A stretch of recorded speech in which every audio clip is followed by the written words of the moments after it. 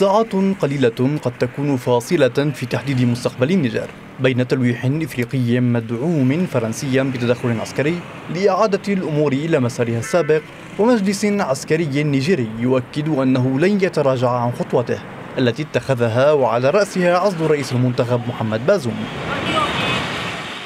النيجر على بعد ساعات من انتهاء المهلة التي حددتها المجموعة الاقتصادية لدول غرب إفريقيا الإكواس لقادة محاولة الانقلاب العسكري لإعادة الرئيس بازوم إلى منصبه.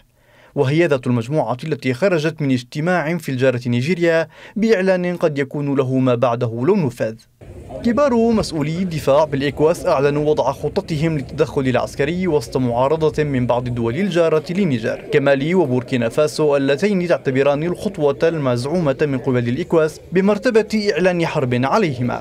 تشاد جارة النيجر الشرقية التي لم تنضم إلى منظمة الإكواس تحث الجميع على الحوار. وترفض التدخل العسكري معلنة أنها لن تكون عضوا فيه. في الجزائر شمال النيجر يدعو الرئيس عبد المجيد تبون إلى حل الأزمة بالطرق السلمية مؤكدا في الوقت ذاته دعم بلاده الشرعية الدستورية ورفضها المحاولة الانقلابية. فرنسا الرافضة للمحاولة خلال لقاء وزيرة خارجيتها كاثرين كولونا مع رئيس وزراء النيجر في باريس أكدت دعمها بكل قوة وإصرار جهود إكواس لإحباط محاولة الانقلاب في النيجر. أما الجيش النيجيري فماض في خطواته ومساره الذي رسمه قادة محاولة الانقلاب العسكري غير مبال فيما يبدو بتهديدات الإكواس ويعلن قائد المحاولة عبد الرحمن تياني تغييرات في قيادته.